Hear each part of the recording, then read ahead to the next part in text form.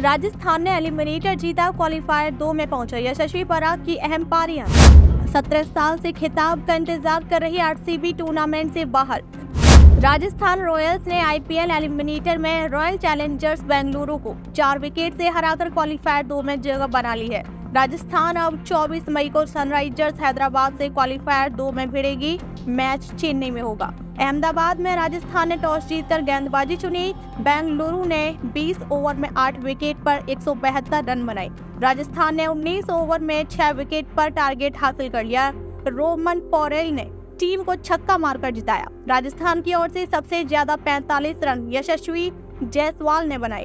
रियान पराग 36 और Shimron Hetmyer 26 run बनाकर out हुए। कैमरन ग्रीन, कर्ण शर्मा और लॉकी फर्ग्यूसन को एक एक विकेट मिला। आरसीबी से रजत पाटीदार ने 34 और विराट कोहली ने 33 रन की पारी खेली। कोहली ने आईपीएल में 8000 रन पूरे कर लिए हैं। वे लीग के टॉप स्कोर हैं। आवेश खान ने तीन विकेट लिए। आईपीएल 2024 के एलिमिनेटर मुकाबले में राजस्थान रॉयल्स का सामना।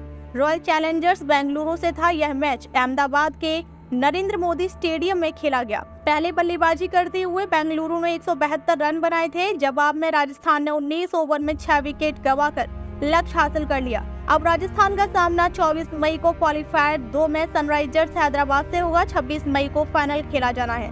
राजस्थान ने बेंगलुरु को चार विकेट से हराया। आईपीएल 2024 के एलिमिनेटर में राजस्थान रॉयल्स ने रॉयल चैलेंजर्स बेंगलुरु को चार विकेट से हराकर टूर्नामेंट से बाहर कर दिया है।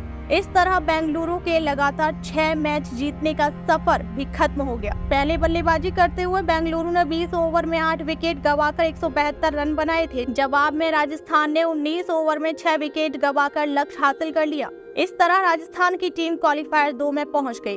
अब 24 मई को उनका सामना एक और नॉकआउट मैच में सनराइजर्स हैदराबाद से होगा। इस मैच को जीतने वाली टीम 26 मई को फाइनल में राजस्थान रॉयल्स से खेलेगी।